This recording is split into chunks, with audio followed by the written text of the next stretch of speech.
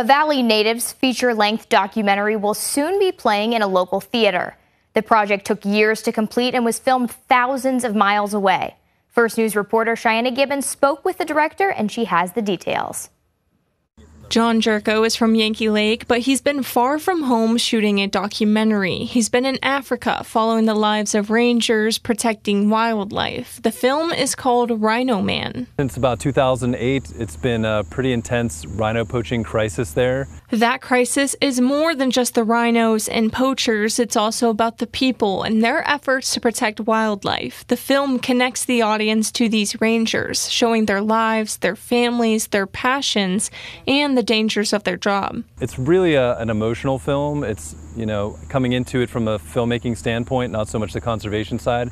I really wanted to focus on the human side of that story.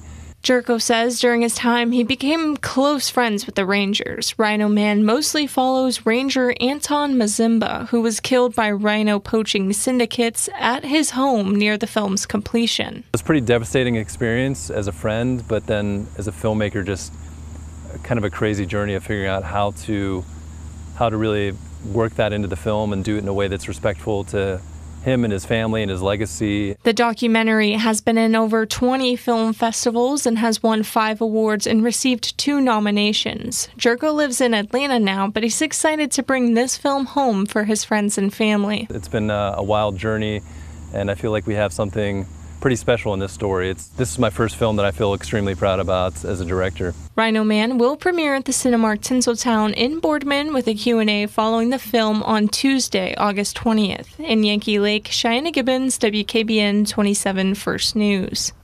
Hi everyone, I'm Lindsay Watson. Thanks for watching the WKBN 27 First News YouTube channel. If you want more video news, subscribe to our channel and don't forget to download the WKBN 27 First News app for breaking news alerts.